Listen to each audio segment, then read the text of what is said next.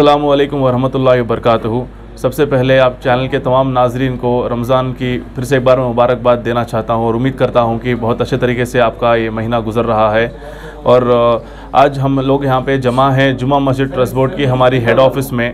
तो एक ऐसा डिसीशन हुआ था हमारे दो ट्रस्टियान के जारी से, उनके तरफ़ से जनाब मुश्ताक अहमद साहब और जनाब एस एस अफसर। तो इनकी तरफ़ से डिसीज़न हुआ था कि जो हमारे एक्स चेयरमैन मरहूम एस एस ए खादर साहब का इंतकाल किया इनकी जगह वेकेंट हुई थी। तो इनके, इसके हुए होते हुए इन्होंने इनको कोऑप्ट किया था। तो कोऑप्ट करके इन्होंने एक लेटर जारी किया था कि एक जो हमारे जान पहचान में है, एक जनाब उवैज़ वाहिदना साहब, उनको कोऑप्ट किया था।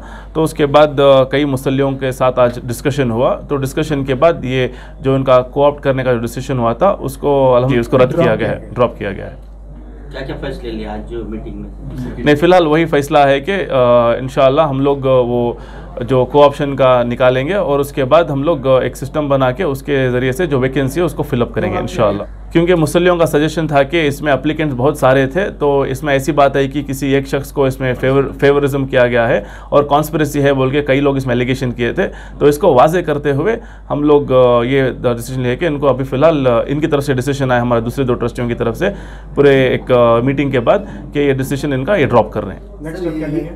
ये कोर्ट से अपॉइंट हुआ था या ऐसे नहीं इन्होंने कोर्ट से अपॉइंट नहीं हुए थे कोर्ट से नहीं अपॉइंट हुए थे।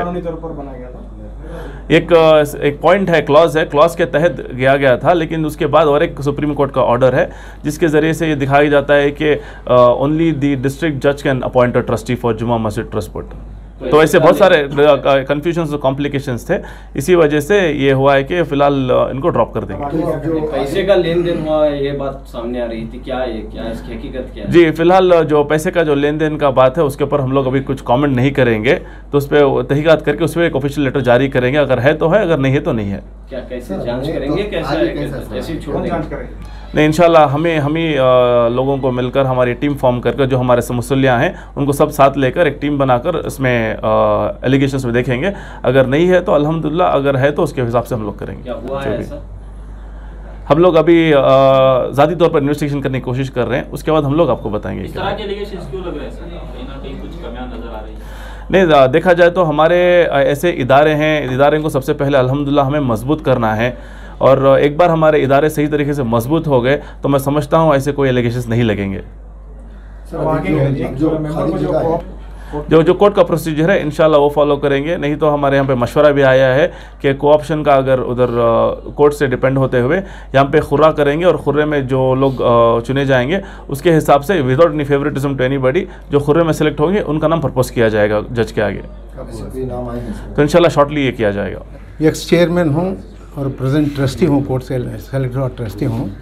हम लोग कल बैठे थे और स्कीम के मुताबिक हमारी इस क्लास थ्री के मुताबिक हम लोग जो है ओवैस वाहदेना को ये ये कोऑप्ट किए थे।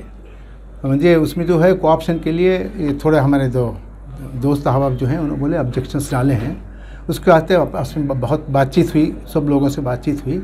और इत्तेफाक राय से क्या हुआ तो जो कोऑप्शन हुआ है, मेरे एज ए लायर मैं बोल रहा हूँ, वो इलीगल नहीं है, मगर वो कोर्ट डिसाइड करता है। लीगल है या इलीगल है कोर्ट डिसाइड करता है। कोऑप्शन को फिल वक्त हम ड्रॉप कर दिए हैं। आइंदा के वास्ते 28 तारीख को केस है अट्ठाईस बाईस। तारीख को केस है। बाईस तारीख को जो डिसीज़न लेता है उसके ऊपर हम आपस में बैठ के कुछ फैसला करेंगे। इन आपसे दुआ कर दुआ दुआ कीजिए कि जुमा मस्जिद ट्रांसपोर्ट आगे बढ़े। जो है हम दूर करेंगे। हम दूर करेंगे। जो भी इख्तलाफ है दूर करेंगे। मिलजुल के करेंगे। बिल्कुल करेंगे। दो दिन पहले दो दिन पहले हम लोग जो कॉप्शन ओवेज वाहिदा को कॉप्ट किए थे ये कॉप्शन के लिए जो है, हमारा जो स्कीम जिसके तहत से हम लोग खुद अपॉइंट होकर आते हैं settled scheme of the court with schedule जो है, उसमें एक ऑप्शन है जहाँ पर दी कोर्ट जो है इख्तियार देता है। अगर कोई रेसिग्नेशन हो या मौत हो किसी मेंबर का तो उसमें बाकी तमाम ट्रस्टीज़ बैठकर किसी एक को कॉप कर सकते हैं। उसी लिस्ट में से जो अप्लीकेशन होते हैं उस वक़्त के। तो उस हिसाब से जो है, पहले भी हम लोग एक ऑप्शन किए हैं। फैज़ान ताहिर फैज़ान ताहिर का हम लोग पहले दिन को ऑप्शन किए, जिस वक्त नयाज़ अहमद दफ़ेदार ने रेसिग्नेशन डाला था। नयाज़ अहमद दफ़ेदार जब रेसिग्नेशन डाले तो उस वक्त फैज़ान ताहिर को ऑप्शन किया लेकिन वहाँ पर एक गलती क्या हुई? दफ़ेदार साहब का रेसिग्नेशन एक्सेप्ट नहीं हुआ। तो जब तक रेसिग्नेशन एक्सेप्ट नहीं होता वैकेंसी क्रिएट नहीं होती।